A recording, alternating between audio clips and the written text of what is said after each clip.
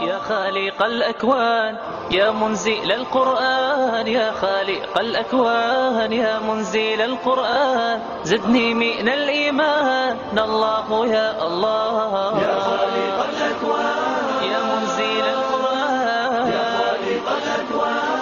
يا منزل القرآن. زدني من الإيمان الله يا الله. Your success in this dunya is temporary. The ultimate success is going to be in the hereafter. They might be saying La ilaha illallah, but their allegiance, their obedience is to something else. Just as we practiced fasting, just as we practice staying away from the halal during the daytime, how about we stay away from all of the haram throughout the year? Now that is taqwa.